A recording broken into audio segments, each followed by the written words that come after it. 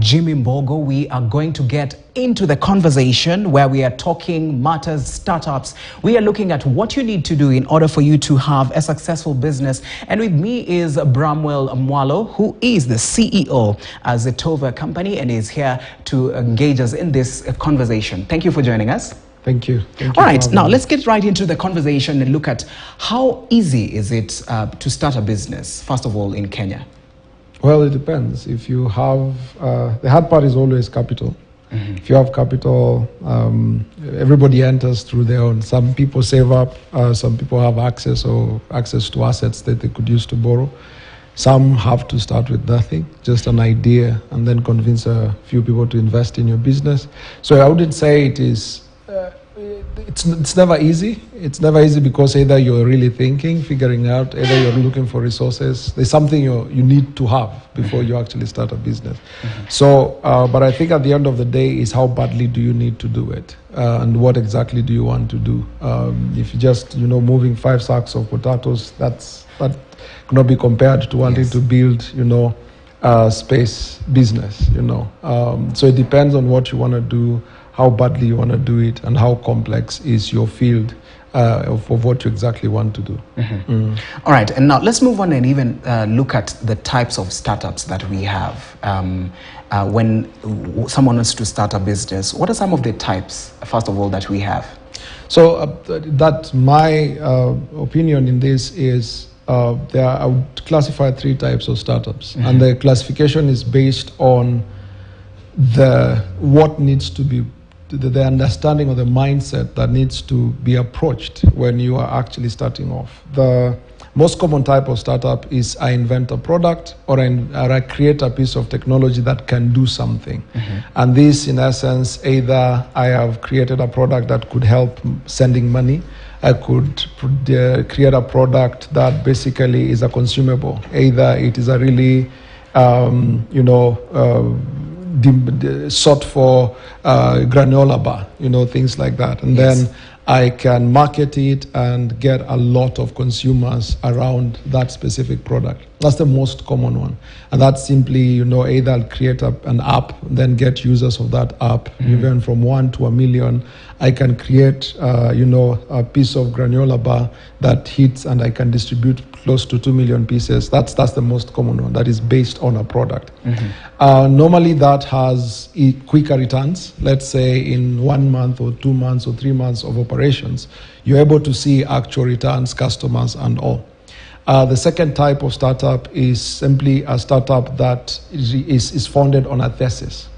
And this thesis is simply an idea or an ideology that if certain things are created, it will significantly make uh, either unlock a big opportunity or either make lives easier. Uh, for instance, um, uh, what Zetova is doing, which is creating, uh, we believe the thesis that founded Zetova is if we make it easy for Africa to use data and data science, we would significantly unlock value uh, in terms of money value, opportunity value, relationship value, just by Africa using data.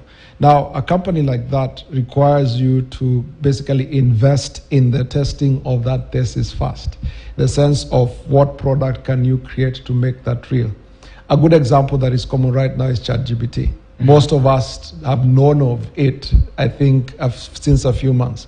But this is an operation that has gone on for years, and, and it's been more of, you know, the thesis of if we make um, AI or natural language processing available, what can it drastically do? What can AI do? So that's the thesis. And, and a few minds, and you know, they created this open society called OpenAI, and people put in work and put in work over the years. They've tested different alterations to the point where they feel confident of, of what they, they have built to open it up to the market. Mm-hmm. Those kind of startups take really long and are very expensive to have.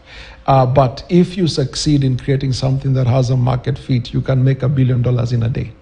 That's simply uh, that's a different type of startups. Mm-hmm. Then the other one is a startup that probably may not really have a product, but basically they are pushing for social good. So these are social impacts that basically rely on other people supporting them or paying them to do something mm-hmm. in return. So they never really make money in essence, but they, they push an initiative, they put uh, a foot forward. Uh, so it's sort of a, a win-win. Some, you know, they're able to figure out a way of, of, of, of that. So I guess in terms of having the clarity of what exactly you want to do, um, for those who want to start uh, research and design based, uh, by the way, those are the companies that end up becoming SpaceX, becoming Google, because, because it's founded on, an, on, a, on a thesis that mm-hmm. if you are able to do this or provide the means of doing this, then you unlock X opportunity, and that goes forth. For product, that those are most common ones. You invented something, or you built something, or you created something,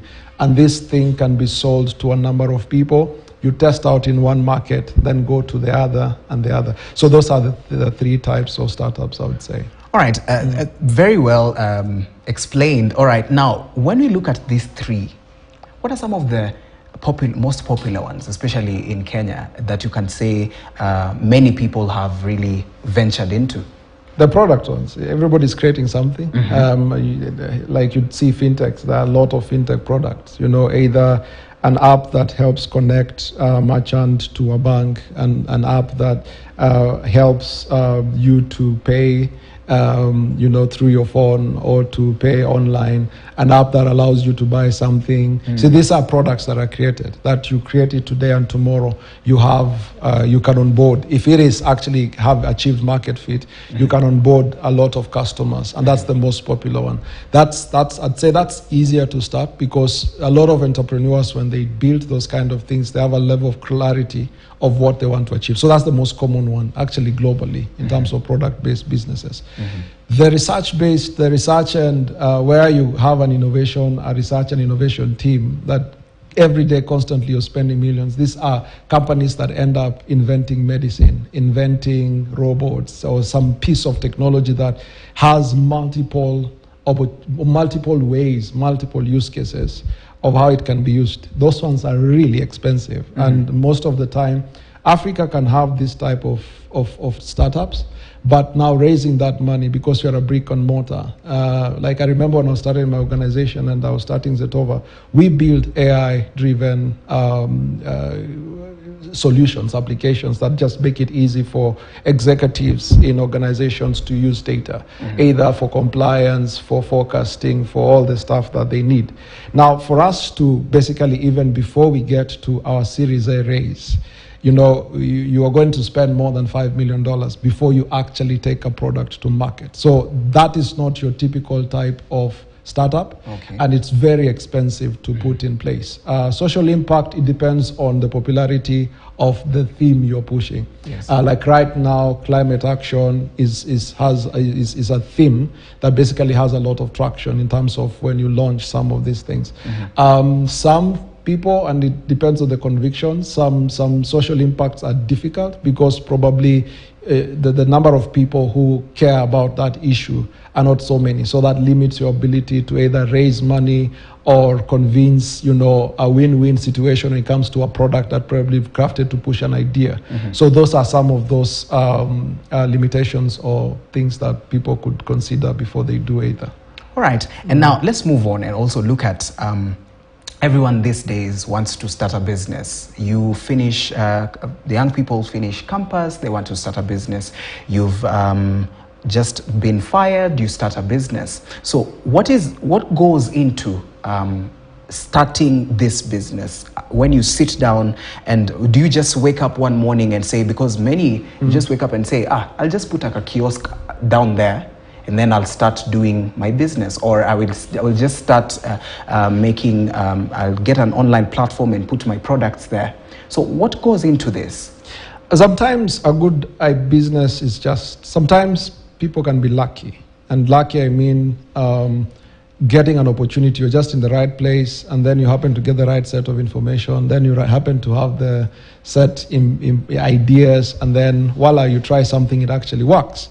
So in most cases, that's not the case. Uh, there's a difference between um, doing a business deal and actually building a business. A lot of people know how to do business deals, and some deals could actually be big. For instance, somebody just needs to do probably three to four deals a year, and they will make their 10 million, 30 million, or whatever, or their 500 shillings, 1,000 shillings, and th- those are deals. I, I'd- I'd call them, th- those are more dealers. I- That's not building a business. Building a business requires some level of clarity of exactly what are you trying to achieve. Mm. And this goes into complexities of what are you selling, where are you getting it, what are the operations that are going to go into place to make sure this process is repeated over and over again, and the risks that come with repeating this process over and over again, those risks that are optimally managed to basically make sure this process of repeating this over and over again does not stop. That's mm-hmm. now being a business. Mm-hmm. And you will change that process 10,000 times until you are 50 years old of business and all that. And the most important thing is then you involve people either as investors, as partners, as employees, as influencers, as regulators, and, and, and people get involved depending on the nature of business. That, that becomes the biggest part of running a business in terms of managing all these people, all these interests, all these exposures, all these benefits. So it's one thing that I, I see a lot of, you know, entrepreneurship has become a very popular, fancy thing. And I think a lot of times when a startup founder uh, goes on, you see them uh, being like you'll just see when you hear Zetova, either we've won an award, either an MIT thing, we've raised money and all that. Th- that's the easy part. The difficult part is the everyday what goes behind the scene, and it's not really easy. Before you actually set out a mission on changing your entire life just because you want to launch a startup or all that, there needs to be clarity of how far do you want to go with this thing. The bigger the scope, they say the, oh, when the ocean rise, it rises with everything, the mm. good and the bad. If you want to get $10 million worth of valuation, $100 million worth of valuation, it means you're going to face $100 million worth of demons.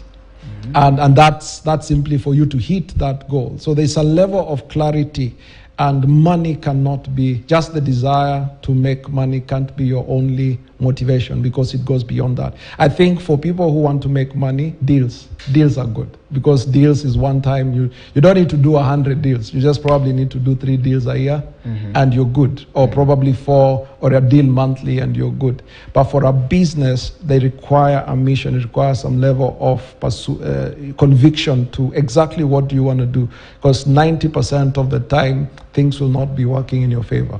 And uh, becoming successful is how often do you manage people? How often do you manage resources? Sorry, not how often, but how well do you manage people? How well do you manage resources? And how well can you be committed to your mission? And that's simply what makes a successful business. Wow, very well said. I, I believe that is your parting shot. I was about to ask you to say your parting shot, but you've Yes. given it. All right, uh, there you have it. Um, we are going to go for a short break. We've been speaking to Bramwell Mwalo, who is the CEO of Zetova, speaking about startups. And I believe you've learned something small about when you just want to start a business and the three types of startups. All right, we are going to go for a short break. We'll be right back with more. Don't go too far.